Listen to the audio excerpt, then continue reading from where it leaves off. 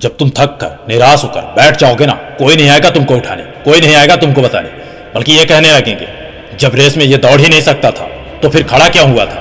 तुम्हारे अंदर की चोट को कोई नहीं सुनेगा, कोई नहीं देखेगा तुम्हारे घाव को, कोई नहीं सुनेगा तुम्हारे दर्द को। सब अपने अपने एक्सक्यूज देंगे। तब सुन हो रहा है? दर्द रहा है तकलीफ़ हो रहा है।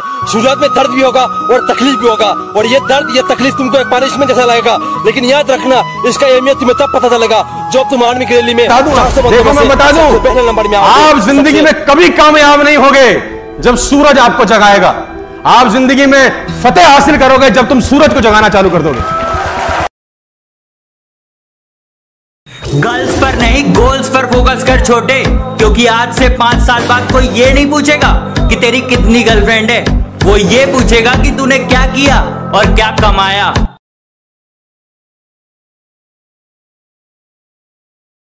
हम पर क्या बीत रही है?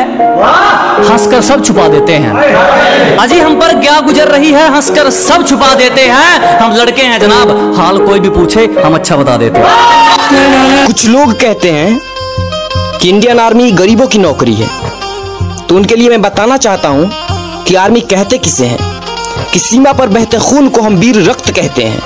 सीमा पर बहते खून को हम वीर रक्त कहते हैं और जो आर्मी की नौकरी करे, उसे सच्चा देशभक्त कहते हैं।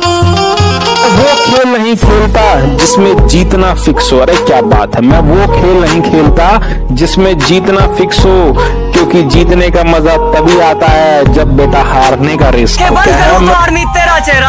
आँखें खोलूं तो आर्मी तेरा चेहरा।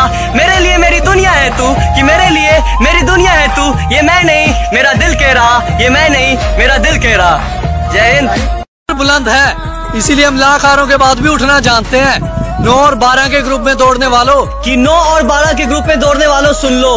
मत छेड़ो तीन सौ के ग्रुप में दौड़